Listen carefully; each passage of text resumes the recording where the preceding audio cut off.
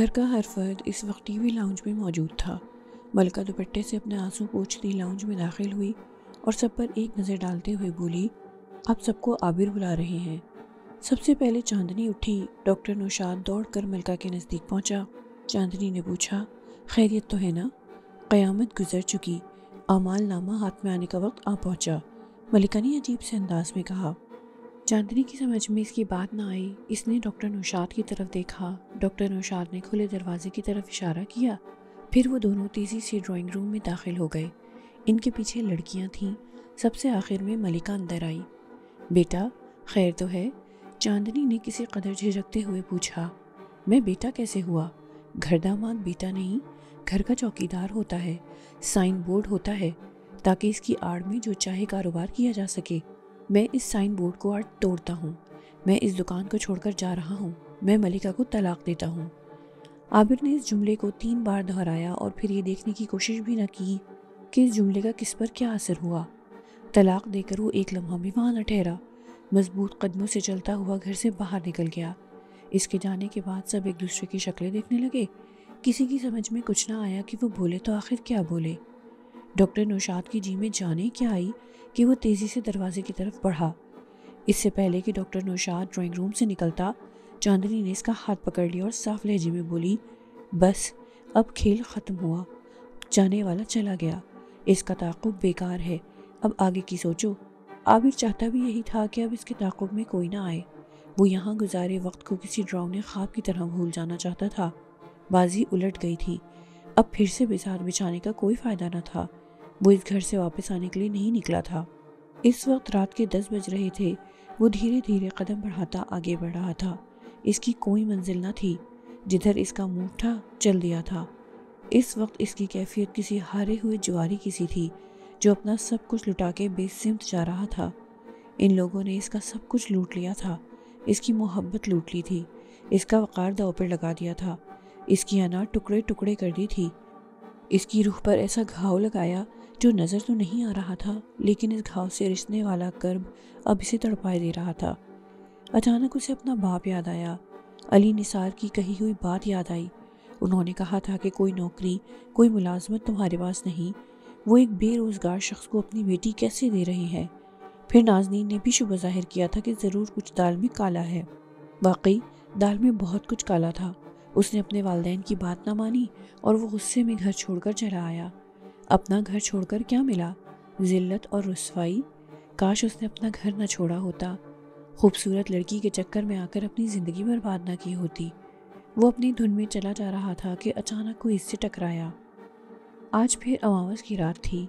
माई पंखी के घर में जादू टोने करने वालों का इज्तम था। जल मसान तकसीम हो चुका था। मकरूह चेहरे वाले मर्द औरतें अपने अपने मसाइल बयान करके माई पंखी से माहिराना राय ले रहे थे।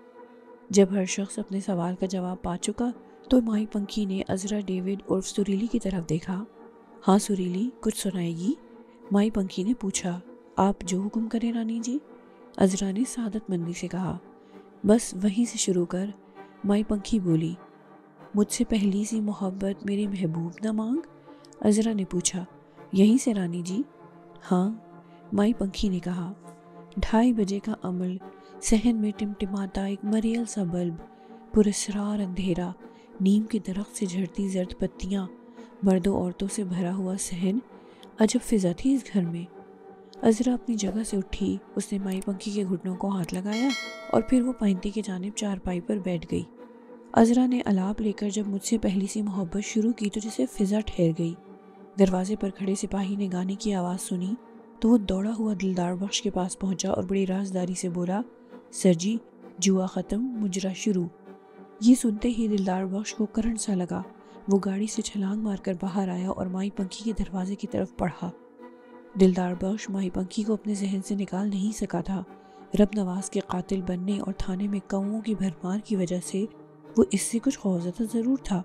लेकिन इतने लोगों के घर से गायब हो जाने का तजस जैसे इसकी रूह में उतर गया था। वो हर कीमत पर इस रात से पर्दा उठाए जाने का ख्वाहिशमंद था। नतीजे में उसने सादा लिबास में पुलिस वालों को इसके घर की निगरानी पर मामूर कर दिया था। ये निगरानी 24 घंटे जारी थी। माई पंखी को इस बारे में कुछ मालूम न था।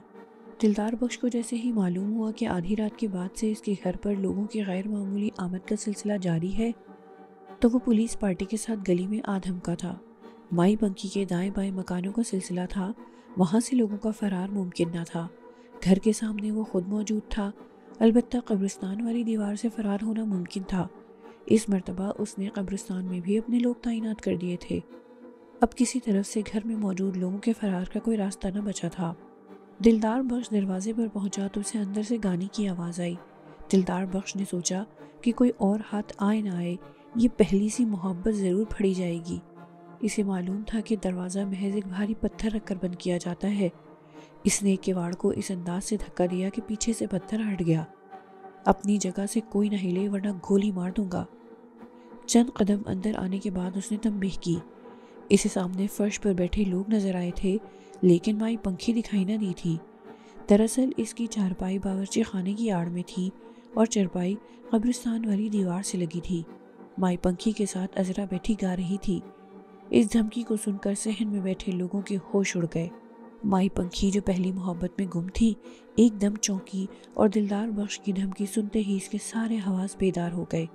इसने कदमों में बैठी रिंकल के पैर पर पैर मारा और धीरे से बोली, इसकी आँखों में धूल झोंक। रिंकल ने किसी कमांडो की तरह छलांग लगाई और फिर रक्त के अंदाज में घुंघरू छनकाती हुई दिलदार बख्श के सामने आ गई। पुरकशिश जिसम को इसने इस अंदाज से हरकत दी कि दिलदार बख्श गोली चलाना भूल गया। वो रिवॉल्वर को हाथ के इशारे से हरकत तो दे रहा था लेकिन ये समझने से कासिर था कि ये औरत आखिर करना क्या चाहती है। वो क्लासिकी अंदाज का रक्स कर रही थी, जिसमें इसकी आँखें, गर्दन और हाथ की उंगलियाँ बहुत तेज़ी से हिल रही थीं। दिलदार बख्श अपने साथियों समेत दम बखूद खड़ा था। बस, इतनी मोहलत माई पंखी के लिए काफ़ी थी। माई पंखी चारपाई से उठकर एकदम दिलदार बख्श के सामने आ गई। इसने रिंकल के कंधे पर हाथ रखकर कहा, बस। रिंकल ने माई पंखी का हुक्म सुनते ही दोबारा पाँव ज़मीन पर मारा और फिर जैसे पत्थर हो गई। माई पंखी दो कदम आगे बढ़ी और मुस्कुरा कर बोली, आखिर तुझे चैन न आया? फिर आ गया। दिलदार बख्श बगैर पल के झपके से देखता रहा, कुछ ना बोला। ला काका, अपनी ये बंदूक मुझे दे दे। माई पंखी ने अजीब से अंदाज में कहा। जानिस की आवाज़ में ऐसा क्या था कि दिलदार बख्श ने किसी हारे हुए सिपाही की तरह रिवॉल्वर इसके सुपुर्द कर दिया। माई पंखी ने रिवॉल्वर लेकर इन सिपाहियों को देखा जो दिलदार बख्श की पुष्ट पर मिट्टी के माधुओं की तरह खड़े थे। माई पंखी ने पास खड़े रिंकल को एक मंत्र बताया, फिर बोली, पढ़ो और निकलो। अब वहाँ मौजूद बंदे बंदियाँ दिल ही दिल में वो मंत्र पढ़ते, पुलिस की आँखों में धूल झोंकते, दरवाजे से निकल गए। सबसे आखिर में रिंकल घुंघरू छनकाती दिलदार बश के सामने आई चंद लम्हे भाव बिताए और फिर मटकती हुई इसके सामने से गुजर गई। सहन खाली हो चुका था घर में मौजूद सब लोग बखैर आफियत जा चुके थे। माई पंखी आगे बढ़ी। उसने रिवॉल्वर दम बखूद दिलदार बख्श के हाथ में थमाया और शरारती अंदाज में बोली हाँ काका, कैसे आया? दिलदार बख्श को ये सुनते ही झटका सा लगा और फिर वो फ़ौरन एक्शन में आ गया। यूँ लगा, जैसे रुकी हुई फ़िल्म दोबारा चल पड़ी हो। दिलदार बख्श को याद आया कि उसने घर में घुसते ही वार्निंग दी थी। इसे सहन में बैठे हुए लोग नज़र आए थे। लेकिन चश्मे जदन में जाने क्या हुआ था कि अब वहाँ कोई भी न था। बस माई पंखी इसके सामने खड़ी थी। ओए माई, फिर तूने हाथ दिखा दिया। कहाँ गए सारे लोग? दिलदार बख्श हैरत ज़्यादा था। काका, तू किन लोगों की बात कर रहा है? यहाँ तो मैं अकेली रहती हूँ। या मेरे साथ मेरी पालतू बिल्ली होती है, अंजू? तू कहे तो इसे बुलाऊं? माई पंखी ने कहा। ओ माई, देख तू मुझे धोखा नहीं दे सकती। मैंने खुद यहाँ लोगों को बैठे हुए देखा है। इधर कोई औरत गा रही थी। मुझसे पहली सी मोहब्बत मेरे महबूब न मांग। वो औरत किधर है? दिलदार बख्श ने आगे बढ़कर चारों तरफ़ नज़र दौड़ाई। कभी तो कहता है, लोग बैठे थे। कभी तो कहता है, कोई औरत गा रही थी। काका, कहीं टेप बज रहा होगा? माई पंखी ने इसे उलझाना चाहा। मेरा घर तेरे सामने है, तू तलाशी ले ले। दिलदार बख्श ने इसकी बात का कोई जवाब ना दिया। इसने पीछे मुड़कर अपने साथियों से कहा, इस घर का कोना कोना छान मारो। जी सर। सिपाही बड़ी मुस्तैदी से पूरे घर में फैल गए और घर का कोना कोना छान मारा। लेकिन नतीजा कुछ ना निकला। घर में बिल्ली के सिवा और कोई न था। दिलदार बख्श को ख्याल आया कि घर में मौजूद लोग कहीं कब्रिस्तान की तरफ़ से तो नहीं निकल गए। उसने एक पुलिस वाले को बावर्ची खाने की छत पर चढ़ाया। छत पर चढ़कर उसने दीवार से कब्रिस्तान की तरफ़ झांका और इधर मौजूद पुलिस वाले से पूछा, कासिम, इधर से कोई बंदा तो नहीं निकला? नहीं, इधर तो कोई नहीं आया, कासिम ने जवाब दिया। दीवार के इस तरफ़ खड़े दिलदार बख्श ने अपने आदमी का जवाब सुन लिया था। दीवार से भी कोई बंदा उधर नहीं कूदा। यहाँ औरतें भी थीं। इनका दीवार पर चढ़ना और फिर कूदना कोई आसान काम न था। दरवाजे पर वो माए सिपाहियों के मौजूद था। इसके सामने से कोई नहीं गुजरा तो फिर इन लोगों को ज़मीन खा गई या आसमान खा गया? आखिर हुआ क्या? वो यहाँ इस रात से पर्दा उठाने आया था कि पिछले छापे में घर में मौजूद लोग कहाँ गायब हो गए थे। आज के छापे ने गुत्थी सुलझाने की बजाय मजीद उलझा दी थी। इसके लोगों ने एक माह तक इस घर की कड़ी निगरानी की थी। आज जब घर में तरह तरह के मर्द और औरतें इकट्ठा होने लगे तो वो खुद जाए वारदात पर आ पहुँचा था। उसने ये ऑपरेशन खुद अपने हाथों किया था, लेकिन हाथ कुछ ना आया था। काका, क्या सोच रहा है? माई पंखी ने सपाट लहजे में पूछा। माई, मैं सोच रहा हूँ कि पुलिस की नौकरी छोड़कर तेरी चाकरी कर लूँ। दिलदार बख्श ने जल का जवाब दिया। तेरी सोच बिल्कुल ठीक है, माई पंखी ने हंसकर कहा। मेरा चाकर नहीं, शागिर्द बन जा, बहुत फ़ायदे में रहेगा। माई, मैंने तुझे उस्ताद माना।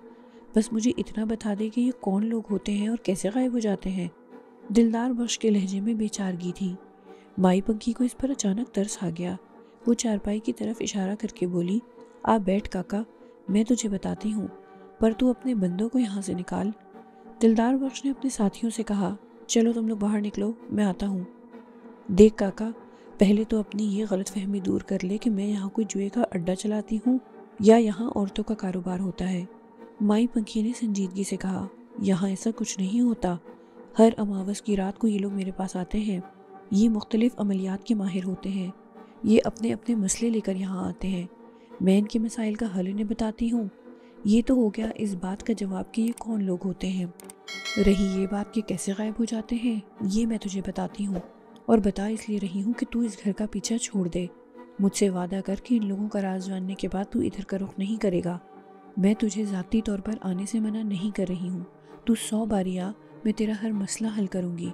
पर तू यहाँ अपनी फ़ौज फर्राह के साथ मत आ। वादा करके तू नहीं आएगा और आएगा तो अकेला आएगा। दिलदार बख्श बनकर। चल माई, वादा रहा। दिलदार बख्श ने वादा करने में ही आफियत जानी। अब सुन, गौर से सुन। इतने लोगों का चंद लम्हों में आँखों से हो जल हो जाना कोई बड़ा कमाल नहीं। ये कोई बच्चा भी कर सकता है। पिछली दफ़ा जब तू आया था तो दरवाज़ा बजा कर आया था। मुझे थोड़ी सी मोहलत मिल गई थी। इस बार तूने ये मोहलत भी ना दी। मैं गाना सुनने में महव थी कि तू दंदनाता हुआ अंदर आ गया। तब मैंने रिंकल को तेरे सामने भेजा।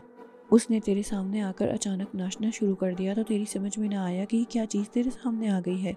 बस, इतनी ही मोहलत मुझे दरकार थी। मैंने तुझ पर और तेरे सिपाहियों पर मंत्र फूका। तू मेरी गिरफ्त में आ गया।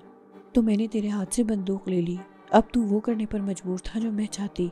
अब तू ये देखने पर मजबूर था जो मैं दिखाती। अगरचे रिंकल मेरे साथ खड़ी थी, लेकिन तू उसे अपने सामने वशियाना रक्स करते अपने मर्ज़ी के लिबास में देख रहा था। तू मेरी बात समझ गया ना? दिलदार बख्श ने इस में गर्दन हिलाई। हाँ माई, बस फिर क्या था? हर शख्स मंत्र पढ़ता तेरे सामने से गुजर गया और तू और तेरे साथी किसी को जाता ना देख सके। काका यूँ समझ ले, ये एक तरह से नज़रबंदी का खेल था। फिर जब मैंने बंदूक तेरे हाथ में थमाई तो तू मेरे शहर से आज़ाद हुआ। बस, इतनी सी बात थी जिसके लिए तूने इतना वक्त ज़ाया किया। माई पंखी ने अपनी बात ख़त्म करके दिलदार बख्श को देखा। इसका मतलब है कि तू जादूगरनी है। दिलदार बख्श के दिल ने एक नई करवट ली। जादूगरनी मेरे लिए छोटा लफ्ज़ है। मैं बहुत आगे की चीज़ हूँ। माई पंखी बोली, माई, मेरी नज़र में तू किसी बड़े शैतान से कम नहीं। दिलदार बख्श चारपाई से उठता हुआ बोला, तूने मेरे महकमे के बंदे को कातिल बना दिया। अगर तू इसे इसकी बीवी के बारे में न बताती तो वो भला अपनी बीवी और इसके आशना को कत्ल क्यों करता? लेकिन तू शर फैलाए बगैर ना रह सकी। अब भी तो अपने चेले चाटों के साथ यही काम कर रही है। फिर मैं क्यों ना इस शर को जड़ से काट दूँ? ना होगा बाँस, ना बजेगी बांसुरी। चल, मरने के लिए हो जा तैयार। ये कहकर दिलदार बख्श ने चारपाई पर बैठी माई पंखी पर रिवॉल्वर तान लिया। ओ काका तू रहा काके का काका। माई पंखी तंजिया अंदाज में बोली, तेरे रब नवाज़ को मैंने तो नहीं कहा था कि कत्ल कर दे। जो किया उसने अपनी मर्ज़ी से किया। इसमें मेरा क्या कसूर? अब मैं तेरी कोई बकवास सुनने के लिए तैयार नहीं। दिलदार बख्श ने रिवॉल्वर सीधा किया, मैं तो जैसी शैतान औरत को हर किस ज़िंदा ना छोड़ूँगा। काका, मेरा जुर्म तो बता, पुलिस का काम लोगों को मारना नहीं, उनकी हिफाजत करना है।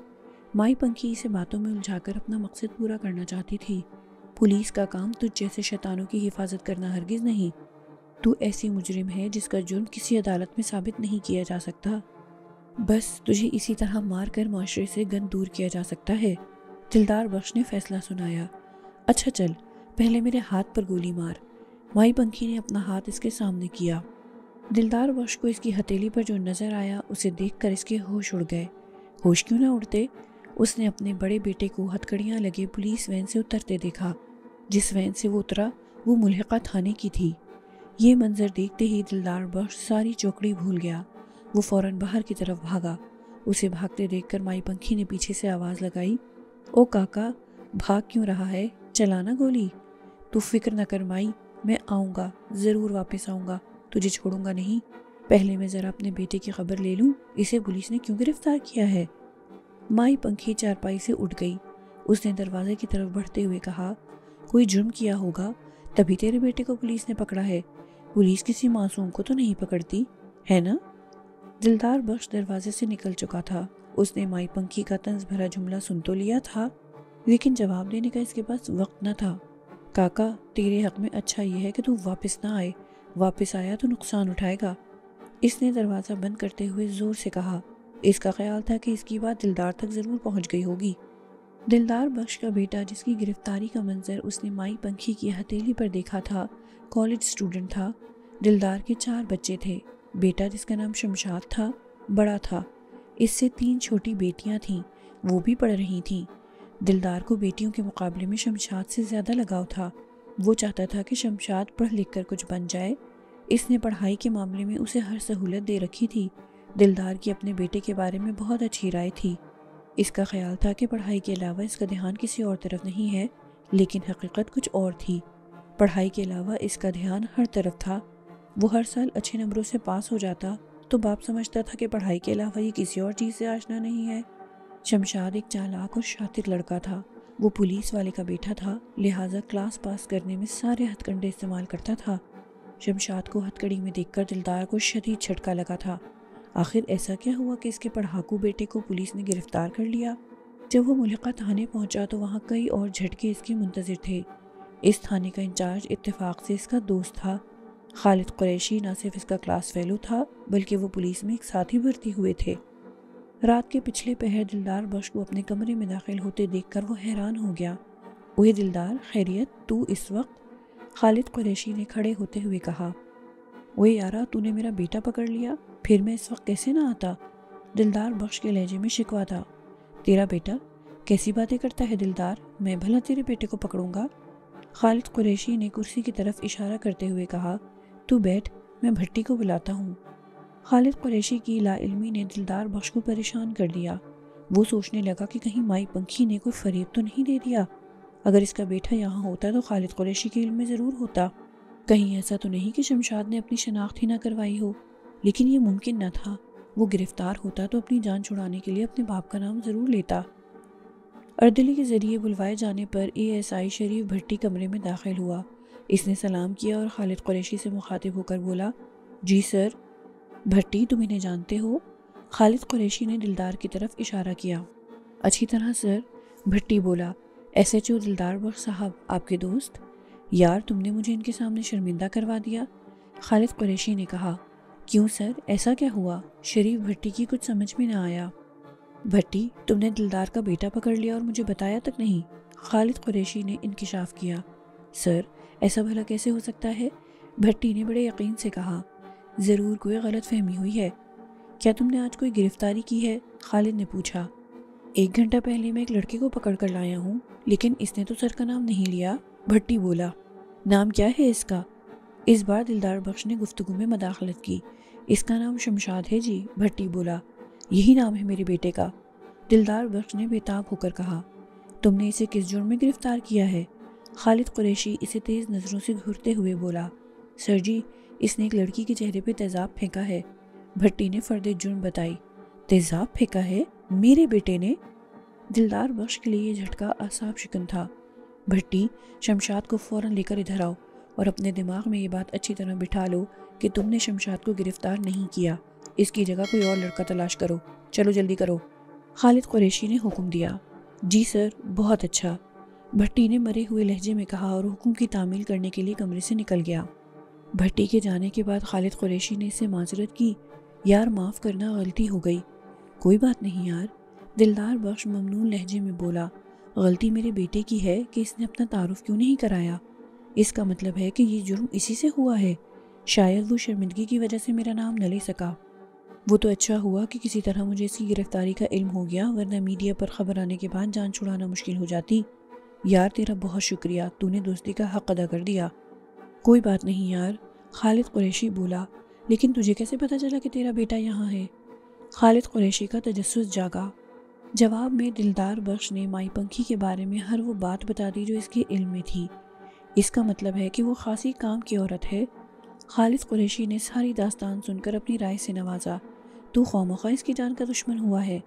दिलदार बख्श ने सोचा, खालिद कुरैशी ठीक कहता है माई पंखी वाकई काम की औरत है।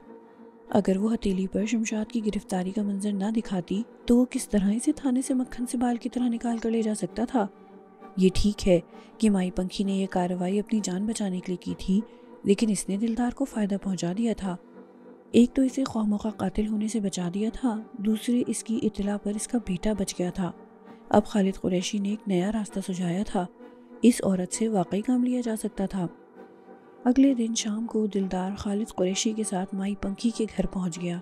इसके हाथ में मिठाई का डब्बा और डब्बे के अंदर पाँच हज़ार रुपये थे। आबिर से टकराने वाला वही फ़कीर था जो अस्पताल से बाहर आते हुए मिला था, जिसने अली निसार से सदका मांगा था और आबिर का चेहरा देखकर कहा था तुझे दुनिया ढूंढ रही है। आबिर ने इसे फ़ौरन पहचान लिया। चेहरा ऐसा था जिसे एक बार देखकर भूला नहीं जा सकता था। छोटी दाढ़ी, कंधे पर पड़े काले और घने बाल, रोशन आँखें, जिनमें मोहब्बत के सिवा कुछ न था। फ़कीर ने मोहब्बत भरी आँखों से आबिर का ऊपर से नीचे तक जायज़ा लिया। फिर ऊपर आसमान की तरफ़ गर्दन उठाई। आसमान को यूँ देखा जैसे कुछ तलाश कर रहा हो। चंद लम्हों के बाद इस फ़कीर ने आबिर की आँखों में देखा। आबिर इसी की तरफ़ देख रहा था।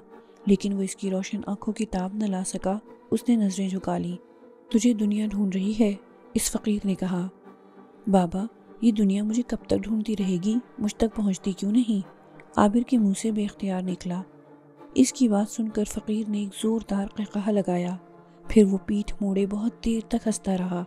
आबिर को लगा कि बाबा शायद पागल हो गया है। उसने इसे इसके हाल पर छोड़कर आगे कदम बढ़ाए। फ़कीर ने इसके कंधे पर हाथ रखा और अपनी हँसी रोककर इंतहाई संजीदा लहजे में बोला, कहाँ जाता है? बेवकूफ़, अपने घर जा। तेरी माँ शदीद बीमार है। आबिर ये सुनकर यकदम परेशान हो गया। उसका घर जाने का कोई इरादा न था। वो अपने बाप के मिजाज से अच्छी तरह वाकिफ था। जिस तरह वो घर छोड़कर आया था, इसके बाद इस घर में इसकी कतन गुंजाइश न थी। वो इसे कभी घर में दाखिल न होने देते। लेकिन इस वक्त फ़कीर की बात सुनकर वो तड़प गया था। इसे घर से निकले कई माह हो गए थे। जब से घर छोड़ा था, इसने पलटकर खबर न ली थी कि इसके घर छोड़ने के बाद वालदेन पर क्या गुजरी। उसने अपनी बहन साइमा से रबता किया था और ना इसके रबता करने की गुंजाइश छोड़ी थी। इसने अपने मोबाइल की सिम तब्दील कर ली थी। इसे यकीन था कि कोई और रबता करे ना करे, बहन इसके लिए ज़रूर तड़पेगी। फ़कीर जा चुका था और वो सड़क के किनारे खड़ा किसी सवारी का इंतज़ार कर रहा था। इतने में एक रिक्शा नज़र आया। उसने इसे हाथ देकर रोका और अपने घर का पता बताकर रक्शे में बैठ गया। घर के दरवाजे पर जब रक्षा रुका तो आबिर के दिल की धड़कन एकदम तेज हो गई। इसने धड़कते दिल के साथ गेट पर लगे घंटी के बटन पर हाथ रखा। बटन दबते ही घर के अंदर से बैल की आवाज़ आई। वो दरवाजे से थोड़ा सा पीछे होकर खड़ा हो गया। वो घर तक तो आ गया था, लेकिन अब इसके असाब जवाब दे रहे थे। अली निसार इस वक्त कोई टॉक शो देख रहे थे। साइमा भी इतफाक से घर में मौजूद थी। वो रात रुकने के लिए आ गई थी। इस वक्त वो नाजनीन के साथ बेडरूम में थी। घंटी की आवाज़ सुनकर वो कमरे से निकली और लाउंज में बैठे अली निसार से मुखातिब होकर बोली, इस वक्त कौन आ गया? अली निसार ने लाउंज में लगी घड़ी की तरफ़ नज़र डाली। ग्यारह बज रहे थे। वो बोले, पता नहीं, ठहरो, मैं देखता हूँ। गेट की तरफ़ बढ़ती हुई साइमा रुक गई। जी अच्छा। अली निसार ये सोचते हुए गेट की तरफ़ बढ़े कि इस वक्त कौन आ सकता है, लेकिन वो अंदाज़ा ना लगा सके। गेट के नज़दीक पहुंचकर उन्होंने बुलंद आवाज़ में पूछा, कौन? जी अब्बू, मैं हूँ आबिर। आबिर की मरी हुई आवाज़ बाहर से आई। आबिर की आवाज़ सुनकर अली निसार के जिसम में यकदम जान से पड़ गई। उन्होंने फ़ौरन पीछे मुड़कर देखा, पीछे दरवाजे पर साइमा खड़ी थी। उसने आबिर की आवाज़ सुन ली थी। चल लम्हे उस पर सख्ता सा हो गया। कितने अरसे बाद उसने आबिर की आवाज़ सुनी थी। वो जल्दी से आगे बढ़ी। इससे पहले कि अली निसार कोई रद्द अमल ज़ाहिर करते, साइमा इनके नज़दीक आकर सरगोशी में बोली, प्लीज़ अब्बू। इसकी आवाज़ में इल्तिजा थी। अली निसार ने गहरा सांस लेकर घर का बैरूनी गेट खोल दिया। आबिर तेज़ी से अंदर आया। उसने सामने खड़े अपने बाप को एक नज़र देखा और झुककर इनके पाँव पकड़ लिए। अब्बू, मुझसे गलती हो गई, मुझे माफ़ कर दे। जवान बेटे को अपने पाँव पकड़ते देखकर इनके अंदर का बाप जाग गया। और इनकी उसूल पसंदी कहीं पीछे सो गई। उन्होंने कदमों में झुके आबिर को उठाकर सीने से लगाया। बाप के सीने से लगकर आबिर की आँखें चलक पड़ी। अली निसार को गले लगाते देखकर साइमा से वहाँ खड़ा न रहा गया। वो रोती हुई अंदर भागी। अम्मी अम्मी, नाजनीन ने कुछ देर पहले नींद की गोली खाई थी। अब इसकी आँखों में नींद उतरने को थी कि साइमा की चीखती आवाज़ सुनाई दी। इनका दिल बैठने लगा और आँखों से नींद गायब हो गई। अम्मी अम्मी साइमा पूरी सांसों से बेडरूम में दाखिल हुई और माँ से लिपट गई। मेरी बच्ची नाजदीन ने उसे लिपटा लिया और परेशान होकर बोली, क्या हुआ? अम्मी आबिर आ गया है। साइमा ने खबर सुनाई, है? आबिर आ गया? कहाँ है मेरा बच्चा? नाजनीन ने साइमा को हटाकर उठते हुए कहा, इस खबर ने उन पर जादू का सा असर किया था, वरना उनसे उठना बैठना मुश्किल था। अब कहाँ की बीमारी, कैसी नकाहत? वो बड़ी तेज़ी से उठकर बैठ गईं। और बेड से पाँव उतार कर चप्पल पहनने को थी कि आबिर अंदर दाखिल हुआ। उसने माँ को उठने से रोका और उनके बराबर बैठकर माँ को खुद से लिपटा लिया और रोने लगा। ओह, मेरे आबिर, मेरे बच्चे तो कहाँ चला गया था? नाजनीन बेताब होकर बोली। बस भूल हो गई अम्मी, मुझे माफ़ कर दे। वो आंसुओं के दरमियान बोला। साइमा ने उसके नज़दीक बैठकर कंधे पर अपना सर टिका दिया। वो वे आवाज़ रो रही थी। आबिर ने बहन को नज़दीक देखकर इसे अपने करीब कर लिया अब वो तीनों रो रहे थे। अली निसार ने दरवाजे पर खड़े इस मंजर को शफीक नज़रों से देखा। आँखें इनकी भी भीगी हुई थीं, वो वहाँ ज़्यादा देर न खड़े हो सके। टीवी लाउंज में आकर बैठ गए। चलता टॉक शो बंद किया और टीवी की स्याह स्क्रीन पर नज़रें जमा दी। जब आंसुओं का सेले रवा थमा तो नाजनीन ने आबिर के चेहरे को दोनों हाथों में थाम लिया और मोहब्बत भरी नज़रों से देखने लगी।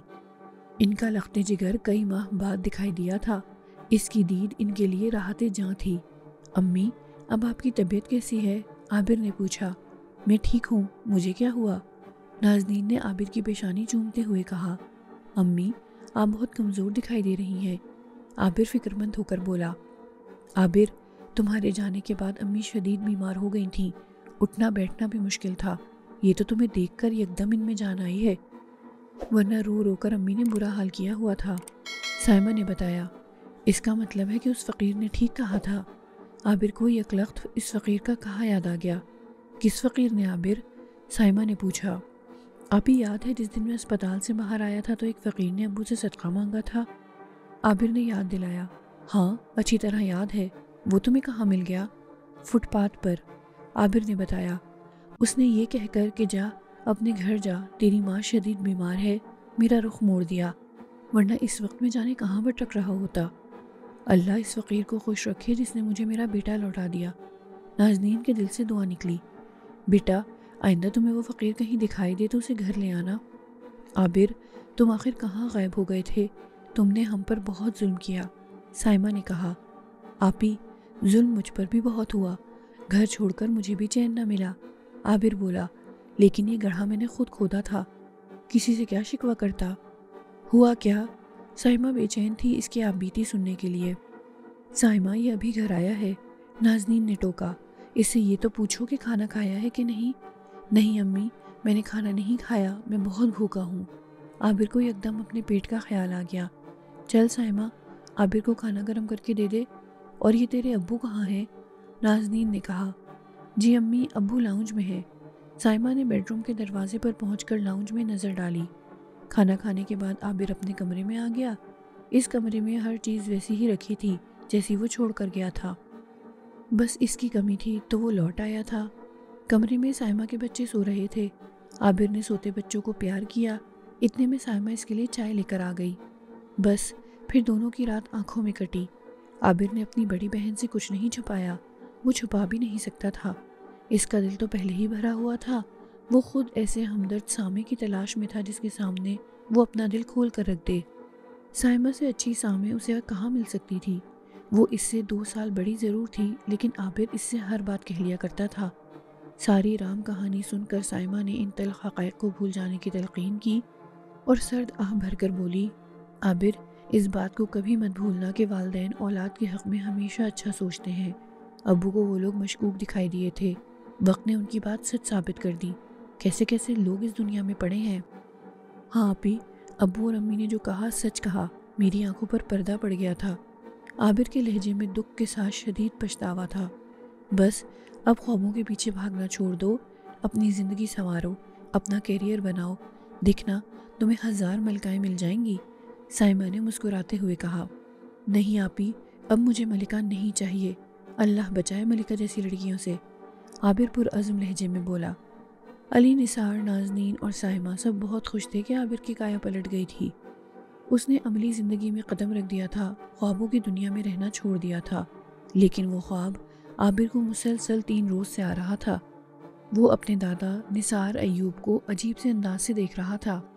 परेशान होकर इसने इस ख्वाब का तस्करा अपने बाप अली, निसार से किया तो वह हैरत ज़दा रह गए। उसने आबिर से सवाल किया, लेकिन बेटा, तुमने तो अपने दादा को नहीं देखा। फिर ख्वाब में तुमने कैसे पहचान लिया कि वो तुम्हारे दादा हैं? मैंने पहचाना नहीं, बस ये एहसास है कि दादा हैं, आबिर ने बताया। इनके साथ कोई है? अली निसार ने पूछा। कोई बुज़ुर्ग है उनके साथ? वो बोला, ये ख्वाब तुम कब से देख रहे हो? अबू मुझे तीन दिन हो गए हैं इस ख्वाब को देखते हुए। एक जैसा ख्वाब और ख्वाब देखने का वक्त भी तकरीबन एक ही है। सुबह पाँच, सवा पाँच बजे ये ख्वाब नज़र आता है। मेरी आँख खुलती है तो मुझे खौफ महसूस होता है। क्या देखते हो? अली निसार ने पूछा। अब्बू, मैं देखता हूँ कि जैसे दादा हैं, इनके हाथ में कोई बच्चा है। पास खड़े बुज़ुर्ग दादा को मुखातिब करते हुए कहते हैं कि कब्र खुदनी है और इस शैतान को ज़िंदा दफन करना है। बस, इसके बाद मेरी आँख खुल जाती है। आबिर ने खौफजदा अंदाज में बताया। आबिर तीन दिन से जो ख्वाब देख रहा था, वो हकीकत पर मबनी था। लेकिन अली निसार को हैरत इस बात पर थी कि इस वाक़े से आबिर कतन नावाकिफ़ था। और इनके वालिद निसार अयूब का इंतकाल आबिर की पैदाइश से पहले हो गया था। आबिर ने अपने दादा को बस तस्वीरों में ही देखा था और ये तस्वीरें देखे हुए भी इसे एक अरसा बीत गया था। इस वाक़े से नाजनीन किसी हद तक वाकिफ़ थीं, लेकिन उन्हें भी ये मालूम न था कि इस बच्चे के साथ क्या मामला किया गया था। इस किस्से से अगर कोई पूरी तरह वाकिफ़ था तो वो अली निसार थे। ये किस्सा अली निसार की शादी से शुरू हुआ। अली निसार के लिए इनकी शादी जी का जंजाल बन गई। इस शादी में इश्क विश्क का कोई दखल न था। ये रिश्ता वालदेन की मर्ज़ी से हुआ था। नाजनीन, अली निसार के वालिद निसार अयूब को शुरू ही से पसंद थी। वो इनके एक करीबी दोस्त की बेटी थी। खूबसूरत होने के साथ साथ सलीकामंद थी। अली निसार ने नाजनीन को देख रखा था। इन्हें कोई एतराज़ ना था। नाजनीन स्कूल में टीचर थी। अली निसार या घर के लोगों को इनकी मुलाजमत पर एतराज़ न था। लिहाजा स्कूल में टीचिंग करती रहीं। शादी की रात जब अली निसार ने नाजनीन के चेहरे से घूंघट उठाया तो इनके हुसन में खो गए। इनके इसरार पर नाजनीन ने झुकी आँखें उठाईं और अली निसार के चेहरे पर नज़र की तो इनके होश उड़ गए। अली निसार बेशक पुरकशिश नौजवान थे लेकिन इतने भी हसीन नहीं कि कोई इनके हुसन की ताब ना लाकर बेहोश हो जाए। नाजनीन अली निसार का चेहरा देखते ही बेहोश हो गई थी। अली निसार की समझ में इनकी बेहोशी की वजह ना आई। आखिर ऐसे इन्होंने क्या देखा था कि इनके आवाज़ जाते रहे? खैर घर वालों की मदद से वो इन्हें होश में लाए। फिर वहीं से सिलसिला शुरू किया जहाँ से टूटा था। इस बार आफियत रही। अली निसार को हर वो खुशी मिल गई जो उन्हें दरकार थी। सुबह नाश्ते के वक्त जब उन्होंने नाजनीन से बेहोशी की वजह दरियाफ्त की तो यकदम इनका चेहरा फ़क हो गया। इनके चेहरे का रंग उड़ते देखकर अली निसार ने इधर उधर की बातें शुरू कर दी। जब फिज़ा साजगार हो गई तो उन्होंने बेहोशी की वजह पूछी और साथ ही कहा, हकीकत चाहे जितनी तकलीफ़ दे हो, बिला झिझक बयान कर दो। आज की तकलीफ़ कल की राहत बनेगी। मैं ख़ुद भी बताना चाहती हूँ, लेकिन डरती हूँ कि कहीं आप नाराज़ ना हो जाएँ। नाजनीन ने झिझकते हुए कहा। नहीं, मैं नाराज़ नहीं होऊँगा, चाहे हकीकत कितनी ही तल क्यों ना हो, अली निसार ने पूरी यकीन लहजे में कहा। ठीक है, मैं बताती हूँ। नाजनीन ने यह कहते हुए फ़ौरन अली निसार के चेहरे से नज़रें हटा ली और धीरे से बोली, मैंने जब आपका चेहरा देखा तो अली निसार ने महसूस किया कि वो बोलना चाह रही है, लेकिन बोल नहीं पा रही। उन्होंने नाजनीन का हाथ थाम लिया और बोले अच्छा जब तुमने मेरा चेहरा देखा तो फिर क्या हुआ? क्या मेरे सर पर सींग निकल आए थे? नहीं, मैंने आपके पीछे एक और चेहरा देखा, इंतहाई ड्राउना वो चेहरा किसी बनमानस से मिलता था। इसे देखकर मैं अपने होश गंवा बैठी। नाजनीन इतना बताकर थर थर कांपने लगी। अभी तो नाजनीन ने होश गवाए थे। एक रात अली निसार के हवास काबू में ना रहे। एक रात सोते हुए अचानक अली निसार की आँख खुली। कमरे में ब्लू नाइट बल्ब रोशन था। उन्होंने दाएँ जाने लेटी नाजनीन पर नज़र की। वो बड़े पुरसकून अंदाज में महव ख्वाब थी। अली निसार दीवार गिर घड़ी पर नज़र डालते हुए उठ बैठे। घड़ी में डेढ़ बजा था। उन्होंने वॉशरूम का रुख किया। पाँच मिनट के बाद जब वो वॉशरूम से बाहर आए तो उनकी नज़र नाजनीन पर पड़ी जो कमरे में टहल रही थी। उन्हें बड़ी हैरत हुई, क्योंकि नाजनीन जिस पुरसकून अंदाज में गहरी नींद सो रही थी, इनकी नींद टूटने का इम्कान न था। शायद वॉशरूम की ज़रूरत ने इन्हें उठाया हो और वॉशरूम खाली ना पाकर वो इंतज़ार में टहलने लगी। ये कोई परेशान कुछ बात न थी। होश इनके उस वक्त उड़े जब उन्होंने नाजनीन को उसी तरह महवे istirahat पाया जैसा वो इन्हें छोड़ कर गए थे। अब सूरत हाल ये थी कि एक नाजनीन टहल रही थी और एक नाजनीन सो रही थी।